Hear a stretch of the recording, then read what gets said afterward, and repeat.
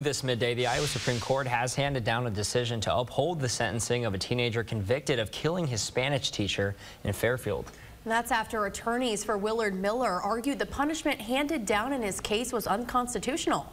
In July of 2023, a judge sentenced Miller to life in prison with the possibility of parole after 35 years. Miller pleaded guilty to first-degree murder in the death of Nohema Graber. Miller said he and Jeremy Goodale beat her to death in a park in 2021 because they were mad about their grade in her Spanish class. Goodale was sentenced to life in prison with the possibility of parole in 25 years. The two were 16 at the time. Miller's attorneys argued the judge didn't consider his age when handing down the mandatory minimum.